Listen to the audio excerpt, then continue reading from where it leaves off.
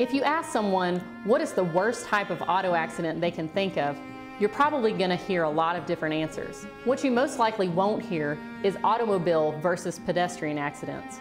However, these can be some of the worst accidents.